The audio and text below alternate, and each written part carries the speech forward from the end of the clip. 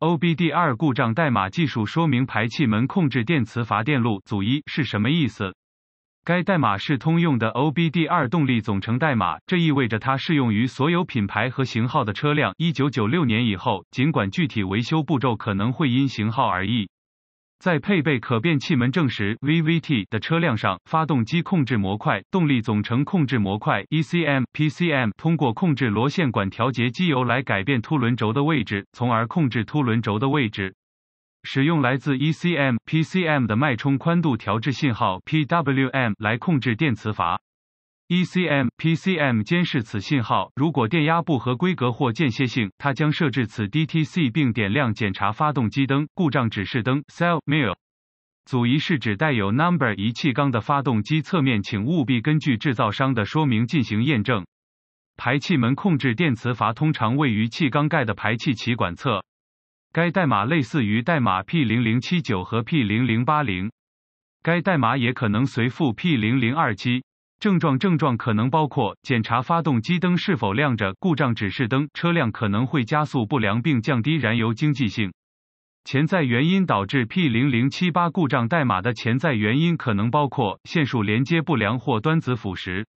控制电磁铁故障电源短路对地短路 ECM 诊断步骤故障线束检查线束连接是否断开，连接器是否锈蚀或导线是否松动。使用接线图从电磁阀和 PCM 上拔下线束插头，找到螺线管的加合线。螺线管可以接地或电源控制，具体取决于应用。检查工厂接线图，确定电路中的功率流。使用设置为欧姆设置的数字伏特欧姆表 DVOM 检查导线各端之间的电阻。DVOM 上的读数超线可能是接线断开、连接松动或端子断开。电阻应在一欧姆左右或更小，如果电阻过大，则螺线管和 PCM、ECM 之间可能会腐蚀或接线不良。控制螺线管在拔下螺线管的线束的情况下，将 DVOM 设置为欧姆，检查控制螺线管本身上每个电器端子之间的电阻。使用工厂规格或已知良好的控制螺线管，如果有，来确定螺线管中是否存在过大的电阻。如果 d 弯上的电阻超出极限或电阻读数过大，则电磁阀可能有故障。通过将 dv 导线的一端接地到已知的良好接地，将另一根导线插入控制螺线管的每个端子，检查通过控制螺线管的接地是否短路。如果存在电阻，则螺线管可能在内部短路。电源短路断开线束与 PCM、ECM 的连接，并找到控制螺线管的导线。将 DVOM 设置为伏特刻度后，将负极引线接地，将正极引线连接到控制螺线管。检查电压，如果存在电压，则线束中的电源可能短路。拔下线束插头，然后测试回电磁铁的接线，以找到短路的电源。接地短路断开线束与 PCM、ECM 的连接，并找到控制螺线管的导线。将 DVM 设置为伏特刻度后，将正极引线连接到已知的良好电压源，例如电池；将负极引线连接到控制螺线管的电线。检查电压，如果存在电压，则线束中可能存在接地短路。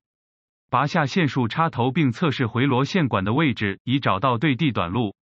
通过将控制线螺线管的一根 DVOM 导线接地到已知的良好接地，将另一根接地到控制螺线管的每个端子，检查是否有接地短路。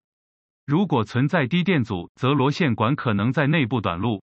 PCM、ECM 如果所有接线和控制螺线管都检查正常，则有必要在发动机运行期间通过对 PCM、ECM 处的线进行探测来监视螺线管。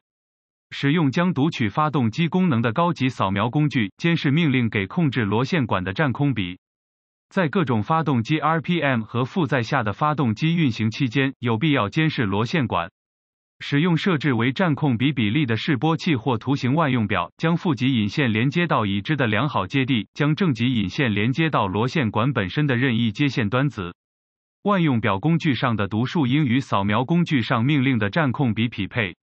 如果极性相反，则极性可能相反将另一线端子上的正极连接到电磁阀，然后重新测试以进行验证。如果没有从 PCM 检测到信号，则 PCM 本身可能有故障。